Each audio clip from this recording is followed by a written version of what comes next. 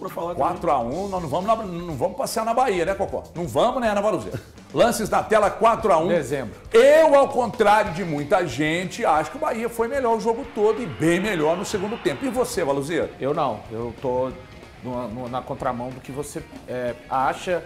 O Cruzeiro fez um, um jogo muito bom durante os 30 primeiros minutos. Pressionou a equipe do Rogério Ceni, conseguindo tomar a bola no campo de defesa ainda. Inclusive, o gol do Verón sai dessa maneira. Uma pressão do Cruzeiro aos 13 minutos, com o William dando um grande passe para ele. a finalização muito bonita do Verón. Antes disso, aos 9 minutos, o Matheus Pereira já tinha tido uma oportunidade onde ele poderia ter tomado, para mim, uma melhor decisão. Ele falou disso, inclusive, na zona mista, o Seabra também, Cruzeiro ontem decidindo muito mal no último terço, especialmente no primeiro tempo.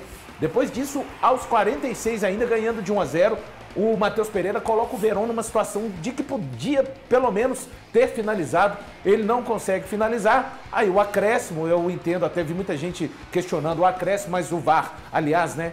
Assim, dependente do resultado, mais um trio de arbitragem péssimo no Campeonato Brasileiro. Anotem o nome do árbitro ontem.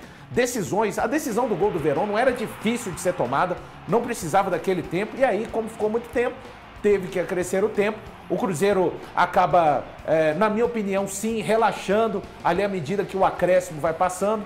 E o Bahia, que insistia muito pelo lado direito, consegue fazer o cruzamento, a bola desvia no Marlon. E aí, para mim, há uma falha coletiva de terem permitido o cruzamento com muito espaço. E a defesa do Cruzeiro, para mim, acabou. Esse desvio acaba matando o, o Zé Ivaldo, o João Marcelo. O William não consegue subir com o Tassiano. E para mim, o Anderson poderia também ter tomado uma medida melhor. Ele poderia ter, quem sabe, tentado sair dividindo. Enfim, o Cruzeiro sofre o empate. No segundo tempo, a expulsão do Marlon, mais uma das três derrotas que o Seabra tem eh, na sua campanha. Duas derrotas foram com o Cruzeiro com jogador a menos e com duas expulsões do Marlon. Não acho que o Marlon seja um jogador é, desleal, mas o que a CBF vai analisar é: peraí, esse jogador foi expulso na sétima e na décima primeira rodada do Campeonato Brasileiro. Ele precisa de mudar a abordagem, especialmente nesse tipo de lance, onde para mim a bola está mais para o adversário do que para ele. Ele é ótimo no desarme. Ele- ninguém foi melhor do que ele no outro campeonato brasileiro. Mas você não vai conseguir desarmar todas as vezes que o adversário tiver a posse da bola. Acho que 4 a 1 pelo que foi o jogo, ficou muito extenso, mas são lições aprendidas para o Seabra e para o elenco também. Eu coloco ontem mais na conta dos jogadores do que do Seabra. E você, Cocó? É, Eu concordo praticamente 99,9% com o que disse o Balu. Eu acho que o Cruzeiro poderia ter matado o jogo no primeiro tempo. Eu acho que se o Cruzeiro faz o segundo ali e ele entra no jogo ainda mais, dá mais confiança, porque você teve um lampejo de um Cruzeiro que poderia. Verão fazer o gol, por exemplo, foi algo inesperado, aconteceu, cresceu ali um ambiente que, ó, finalmente, talvez a gente vai ver o Verão fazendo algo, crescendo e sendo decisivo, e logo, pouco tempo depois, ele acaba perdendo um gol, assim, em que ele tropeça na bola praticamente, né? Ele não consegue ah, finalizar, ele faz o lance perfeito, a projeção de corpo, e a bola bate no pé de apoio, ele não consegue nem chegar a chutar pro gol, e ali já cai aquela carga toda de, nossa, a gente achou que o cara ia agora vingar, e ele volta e repete erros que estão custando para o Cruzeiro muitas, muitas chances claras mesmo, né? É, ontem, para mim, foi uma das piores partidas do Matheus Pereira, que é um craque, mas foi uma das piores, e ainda assim. escolhas erradas. E, e ainda assim, Duas ele poderia, e, e não- que foi a pior partida dele para mim, camisa do Cruzeiro, ele poderia ter saído com uma assistência, que foi justamente esse lance que o Verão perdeu. Então, assim, é, Teve um Cruzeiro- Robert, não teve? Duas, dois Duas lances em que ele poderia ter escolhido uma melhor opção, que era passar o Robert, que chegava no fundo e poderia bater. É, é, são situações que um time limitado como é do Cruzeiro não pode se dar ao luxo de perder. É, porque dificilmente vai criar de novo num jogo tão difícil igual o Bahia, que pra mim, cara, o Bahia ele muda o jeito de jogar durante a partida. Ele começa jogando de um jeito e, óbvio, a, a expulsão do o placar largo se dá exclusivamente pela expulsão do Marlon, um a menos, coloca Biel, coloca Everton Ribeiro, o time começa a ficar rápido, a bola começa a correr, você vê o, o ponto fraco do Cruzeiro, que são os volantes extremamente perdidos. Lucas Silva e Ramiro É, isso é chover no molhado. Eles não têm a capacidade de acompanhar, de fazer a Aliás, o recomposição. Lucas Silva agora joga 55 minutos por partida, né? Ontem ele foi substituído aos 11. Então, o Lucas Silva titular hoje no Cruzeiro, você, torcedor do Cruzeiro, já sabe, o Seabra também sabe, que é uma substituição que vai acontecer com Garantida. certeza Só, no segundo só tempo. dois pontos rápidos. É, ontem eu, eu- Olha, eu gosto muito do Matheus Pereira. Pra mim ele é um, um craque. Craque mesmo.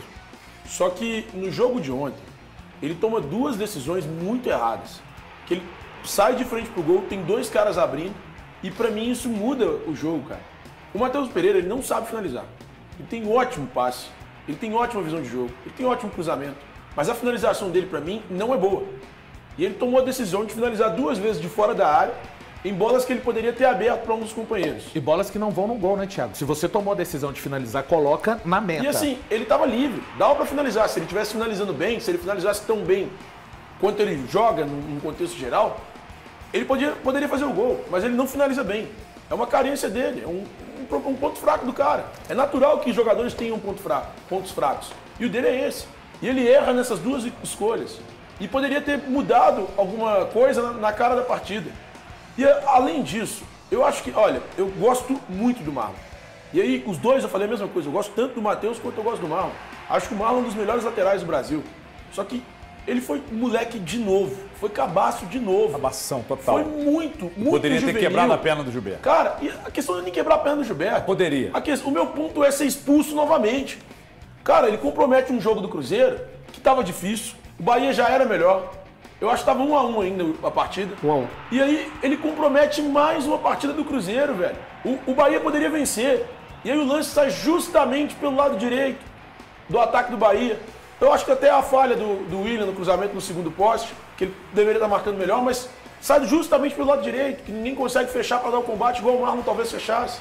Então, assim, o Marlon ontem foi mais uma vez juvenil, mais uma vez cabaço. Atrapalhou o jogo do Cruzeiro.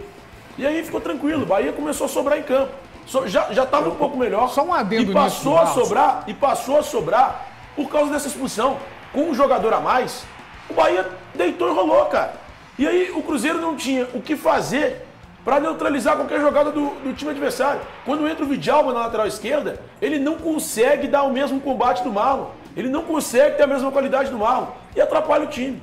Antes da, da- Daqui a pouco eu quero ouvir o Eltinho e o Popó, eu quero falar também eh, sobre a questão da expulsão. Mas agora, para o que você está fazendo. Estou com o Thiago, foi um cabação, chegou atrasado, pé alto, poderia ter que. Aliás, tem uma foto dos anos 80, muito tradicional, de um jogo de São Paulo, tá na internet aí, que aconteceu aquilo ali. O cara travou e, e a foto foi tirada no preciso momento em que teve aquela alavanca na perna e quebrou a perna do cara. Poderia ter quebrado a perna do Gilberto. Agora, depois, o Marlon foi lá, fez uma postagem, o Gilberto comentou, tá tudo bem, não foi na maldade e tal. Chegou atrasado. Agora, foi cabaço. Agora, já imaginaram se fosse, por exemplo, o Zé Ivaldo? o mundo cairia na cabeça do Zé Ivaldo. Né? Então, irresponsável sim, mais uma vez. E isso foi, foi uma, para mim, uma das questões que atrapalharam muito o Cruzeiro, principalmente no segundo tempo. Agora, as alterações do Seabra não surtiram tanto efeito, tanto, tanto efeito, já as do Ceni renderam e o, e, o, e, o, e, o, Bahia foi melhor. O Valu discorda de mim. Para mim, o jogo inteiro, se se analisar bem, o Cruzeiro não jogou mal, mas o Bahia foi melhor, mereceu a vitória. Eu só achei que o placar ficou muito elástico diante do que foi o jogo. Achei que foi muito elástico. Agora, para fechar, falamos aqui que o Seabra ia ter que matar um rinoceronte por dia para provar alguma coisa no Cruzeiro. E tá tendo que fazer. Não, eu ainda queria Depois vai falar, entender por que ó, que eu tô ó, falando HG, a respeito dessa questão da expulsão, a minha preocupação é se criar rótulos. No futebol a gente vê, a gente já discutiu aqui algumas vezes sobre o Hulk é o chatão, o Hulk é o que reclama muito. A minha preocupação é a arbitragem já ter um novo olhar para cima do Marlon. O Marlon nos últimos, nos últimos jogos, as duas derrotas, o Valor foi muito bem, as duas derrotas que o Cruzeiro teve nos últimos cinco jogos para São Paulo e agora para o Bahia, vieram depois de uma expulsão do Marlon. E, e a expulsão num, num futebol de alto rendimento, ela é muito, ela pesa bastante. Intervalo de três semanas. A É, um outra foi intervalo no dia três 2 de semanas. junho. Isso, é, é muito, muito curto, né? Assim, pra. Pô, Marlon, a gente pediu pra você ter mão na consciência no jogo contra o São Paulo.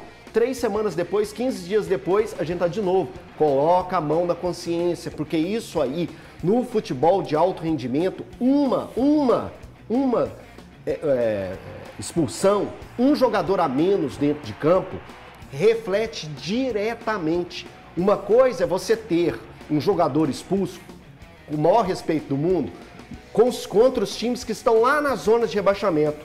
Outra é você ter uma expulsão em um time que vai brigar por questões lá no alto da tabela, vai brigar por G6. A gente vê esse time do Bahia jogando, a gente vê que tem entendimento tático, a gente vê uma boa equipe, a gente vê conhecimento dos atletas, entrosamento dos atletas. Então, vencer o Bahia no Campeonato Brasileiro, jogando dentro ou fora de casa, não vai ser fácil.